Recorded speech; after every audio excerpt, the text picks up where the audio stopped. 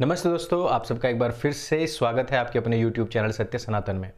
दो दिन से हमारे भाई बहन लगातार कमेंट करके कह रहे हैं कि पाकिस्तान में हिंदुओं के साथ बुरा बर्ताव हो रहा है राशन के नाम पर।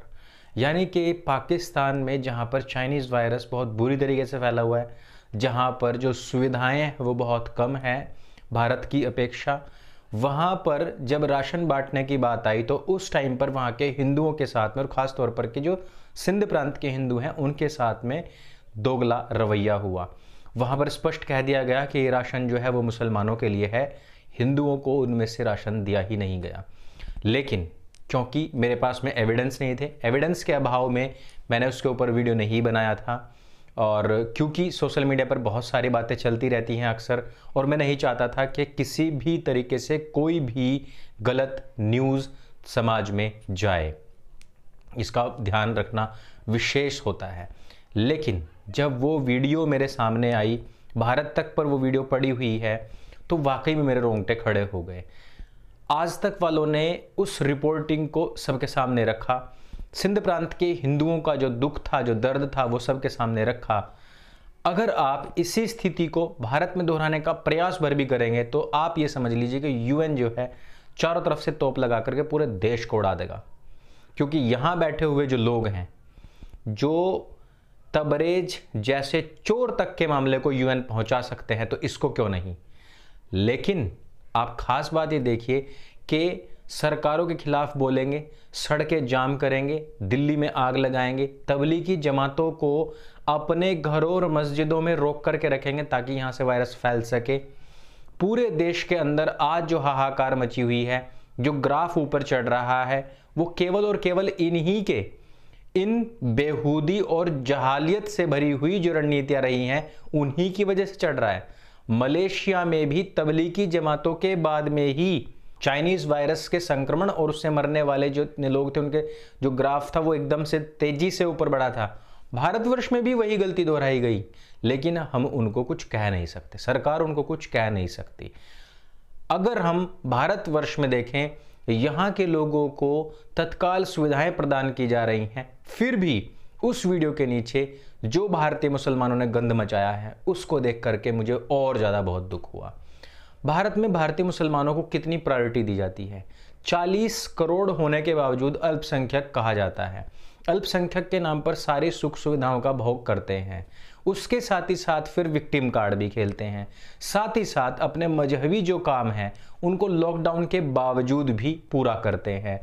फिर भी पाकिस्तान में पीड़ित हिंदुओं का पक्ष लेने के लिए भी इनकी माँ मर गई।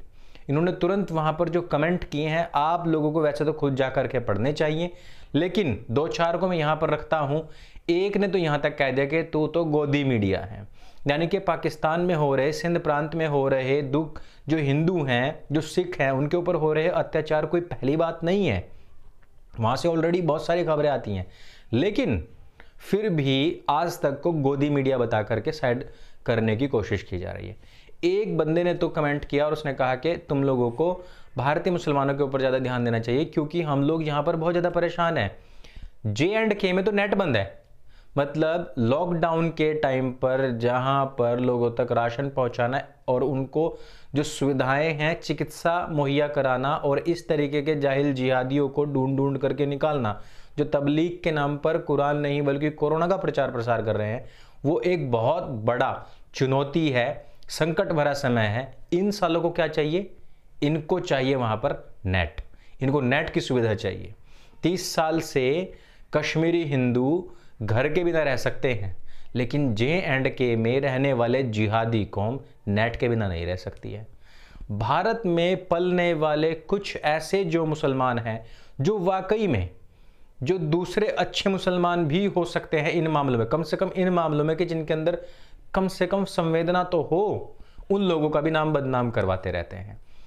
भारतवर्ष में जिस प्रकार का ढीला ढाला रवैया अभी तक हमने देखा है, तबलीगी जमात के नाम पर 16 मार्च का वो ऑर्डर दिल्ली सरकार का सामने आ चुका, जिसमें कहा गया था कि किसी प्रकार के धार्मिक मजहबी कार्यक्रमों को अभी रद्द करना पड़ेगा, आगे इनकी कोई भी अनुमति नहीं दी जा रही है। 16 मार्च के बावजूद वहाँ पर हज़ारों लोग इकट्ठा हो जाते हैं। इसमें भी पॉलिटिक्स फिर से खेली जाती है। मैंने बताया ना, विक्टिम कार्ड खेलना भी चाहिए इनको। मैंने बताया ना कि इनको विक्टिम कार्ड भी खेलने को चाहिए। तो बहुत सारे ट्वीट्स ऐसे आए कि ये लोग तो तकरीबन पाँच हज़ार थे छः हज़ार थे, लेकिन उनमें सिर्फ़ चौदह सौ ही बचे थे। बाकी लोग तो निकाल लिए गए, सिर्फ़ चौदह सौ ही तो बचे थे। तो क्या वो सरकार को नहीं बता सकते थे कि हम यहाँ पर हैं और हमको निकाला जाए? जब लाखों मजदूरों को उनके घर तक भेजा जा सकता है तो 1400 लोगों को उनके देश भी भेजा जा सकता था। लेकिन असलियत में आपको बताऊँ कि उन लोगों में से भी अधिकतर लोगों के वीज़ा जो थे, वो ख़त्म हो चुके थे। सही बात और असली बात यह है कि वीज़ा ख़त्म हो चुके थे, वो फिर भी जमे पड़े थे और अब उनको पकड़े जाने का डर था। इसलिए उनको छिपा करके रखा गया था। आपको क्या लगता है कि उन 1400 लोगों ने अपनी जानकारी नहीं दी तो पुलिस भी उनको नहीं पकड़ पाई? बस इतनी सी बात। नहीं मेरे भाई, पड़ोसियों तक ने उनकी जानकारी को छिपा करके रखा।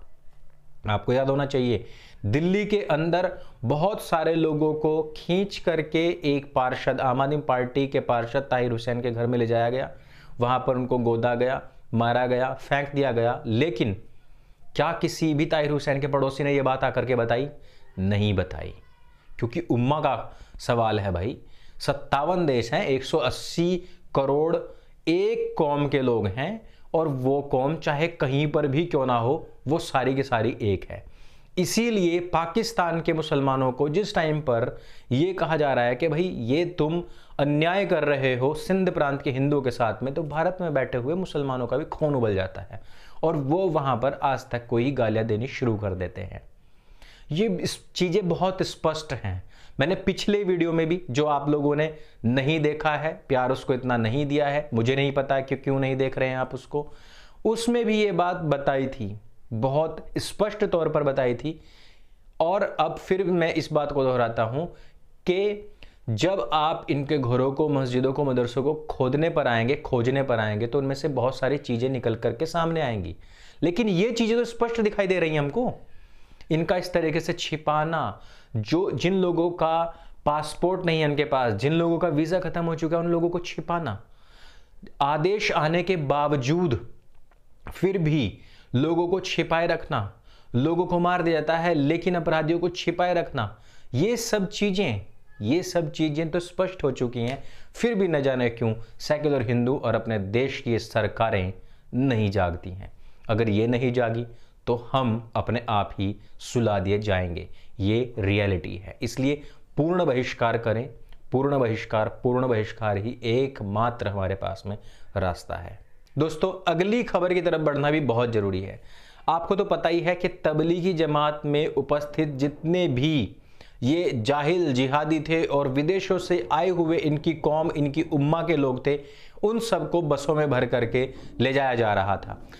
यहाँ अब एक पॉइंट सबसे खास आता है, जो मैंने पिछले वीडियो में बताया था कि एक जिहादी जब खुद मरने जा रहा होता है तो वो ये तय कर लेता है कि अब मैं काफिरों को भी कुछ ना कुछ हानि पहुँचा करके जाऊँ, ताकि मैं गाजी ना सही तो बल्कि शहीद तो कहला ही लूँ।